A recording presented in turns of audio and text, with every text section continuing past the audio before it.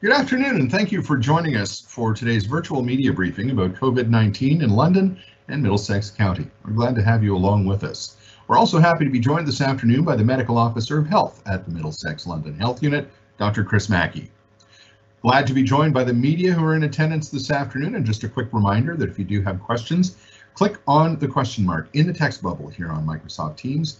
If you could indicate your name and your media outlet as well. And finally, a welcome to those who are tuning in this afternoon on Rogers Television and the Rogers Facebook page or YouTube channel, listeners on Global News Radio 980 CFPL, and those who are watching on the CTV London website.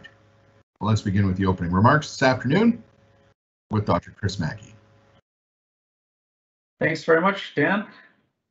So things are pretty calm on the COVID front. Uh, 16 cases to report today, no deaths. Our seven-day moving average, though, is is really quite down this week. We have seen a fairly consistent decline over the past two months since kind of mid-August.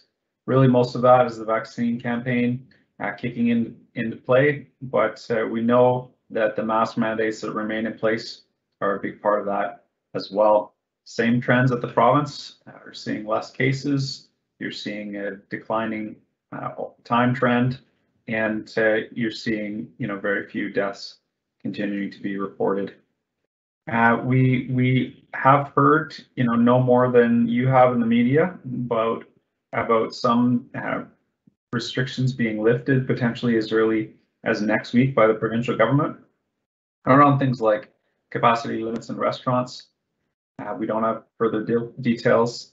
Uh, we know that you know there will likely be expanded third dose offerings for high risk groups. Again, don't have details on timing or the groups at this point that we can share.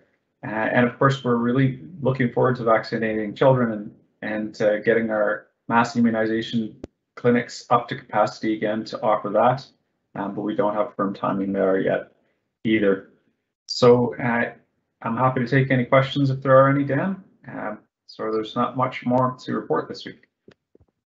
Well, thank you very much, Dr. Mackey. And uh, it seems that it's maybe one of those weeks. Uh, there are no questions in the queue this afternoon from the media.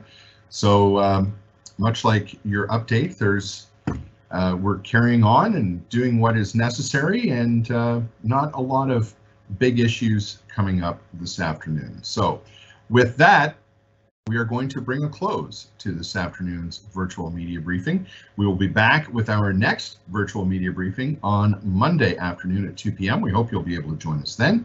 So between now and next Monday afternoon, have a great rest of the day. And just as I was signing off, Dr. Mackey, we got a question that came right in. Jane Sims. Jane, thank you for your question. We'll go to Dr. Mackey.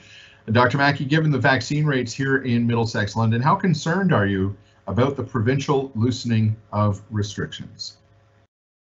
Yeah, thanks for the question, Jane. There have been a number of restrictions loosened over the past few weeks. I think we're a bit early to know exactly what impact that will have, and so it's hard to say for sure what an impact further loosening of restrictions will have. You know, we have great vaccination rates. I would be much more comfortable if, you know, we had vaccine available to children. Uh, but I understand that uh, you know the, the government is is moving forward in this way, and I feel like uh, you know we we will be able to handle it. Thank you very much, Dr. Mackey. And uh, another question just came in from Andrew Graham at Global News Radio 980 CFPL. Dr. Mackey, based on recent observations, would you support the lifting of further restrictions that's being reported on so far? And I think what Andrew is referring there is the uh, Global News story and others about the province's possible decision next week? Yeah, thanks for the question, Andrew. I guess, you know, in an ideal world from a public health perspective, we would have a bit more time to see the effect of the restrictions that have been lifted so far. But, uh, you know, I, I, understand the desire to get back to normal and why the government is choosing, choosing to do this. And, you know, it's hard to argue uh, with that decision, given the trends that we're seeing in terms of ca case counts with COVID and, of course, deaths being very low as well. Dr. Mackey, another question, uh, another couple of questions have just come in. We'll go to Marek Sutherland next at CTV News.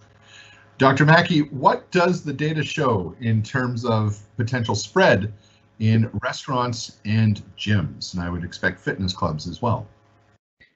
Yeah, appreciate the the question, Mark. We've definitely seen, you know, we've seen a number of outbreaks here in Middlesex and London associated with restaurants, uh, less with gyms, but we've certainly seen cases. And, and, then across Ontario, we've seen lots and lots of outbreaks. Uh, the the typical outbreak in a restaurant has to do with staff who are, you know, letting their guard down on break. Uh, but we have seen staff to uh, customer transmission as well. At sports events, gyms in particular, uh, are definitely a high risk of super spreader events. Now, uh, we haven't seen that in the context of facilities where a vaccine mandate is in place. You did see in late August a significant outbreak at a hockey tournament in Peel region. Uh, you saw last, uh, I believe it was late 2020, you saw a very large outbreak associated with spin classes at a uh, at a gym in Hamilton that ended up numbering over 100 when you looked at the secondary cases as well. People taking the illness home or to other workplaces and spreading it there. But uh, again, these are not in the context of vaccine mandates. So we we we have yet to um, we have yet to see significant spread of COVID in a place where there is a vaccine mandate in place. Let's go to our next question. It comes from Sophia Rodriguez at CBC London. Dr. Mackey, how do you feel about Canadians soon being able to easily travel to the United States? How cautious should people looking to cross the border be? You know, the, the U.S. decision to lift travel restrictions is one thing. You still have a recommendation from the Canadian government not to travel outside of Canada. And that is definitely a recommendation that we support here at the Middlesex London Health Unit.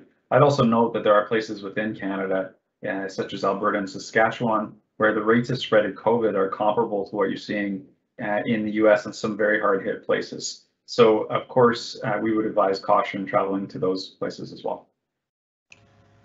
Thank you very much. And let's go to the next question. Ben Harrietha from XFM News at Fanshawe College is joining us.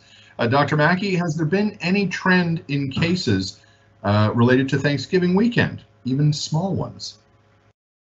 Yeah, thanks for the question, Ben. It would be too soon to see uh, any cases related to Thanksgiving. It usually takes about five days for symptoms to develop, and then you've got time to get tested that's required, and then time to get the results of the test back. So we would usually see that sort of impact happening, uh, you know, between one week and two weeks after the event. That said, you know, we had for the most part great weather. Um, I, I, certainly know of many people who did take the recommendation up to have their Thanksgiving gatherings outdoors, and I and I hope many people did and continue to do that. Uh, and if that is the case, then we really don't anticipate a large impact from Thanksgiving. And uh, Dr. Mackey, that does bring us to the end of the questions in queue. And um, I, I, felt a bit like an auctioneer before, so uh, I think folks have had an opportunity now. Thank you once again for joining us. We'll be back next Monday at 2 p.m., so we'll see you then. Have a great rest of your Thursday afternoon, and so long for now.